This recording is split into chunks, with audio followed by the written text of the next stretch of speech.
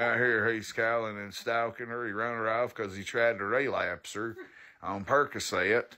And look at how many times he's cowed since last night. All these are from last night. So let him do whatever he uh, wants to do. Cowler probation officer, motherfucker. Look, he's cowling again. That's him, and I'm, I'll confirm it.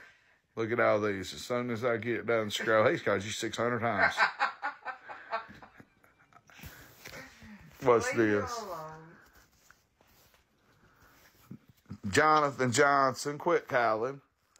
Man, put her on the phone. She don't want to talk to you. She's got to go pee anyway. Put her on the phone. She's going to piss. Put her on the phone. I don't think take the phone with her. She can hear every word you're saying, motherfucker. She don't want to hear it because you're a I rat. mean, yeah, can she be a one? Can, can she be? A, can she hold her own phone? I mean, if she wanted I mean, I to. feel you don't pay the phone bill, so put her, give her. You don't pay it either, mother. it. you don't pay it either. Pay your child I support. did pay it. Pay your child support. At least- I can do it. You take care. You take care of your kids, buddy? Yes, I do, motherfucker. Yeah. Oh, yeah. Yeah, whatever. Oh yeah. Oh yeah, I've been a daddy. I don't know about you, but I know Dan Cummings is going everybody that you work with, I'm looking them up right now.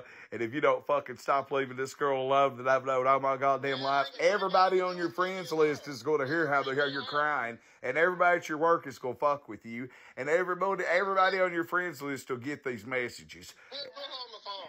Put her on the phone. the- Uh, uh, what's his name? Pac Man, No, Devontae. Devontae.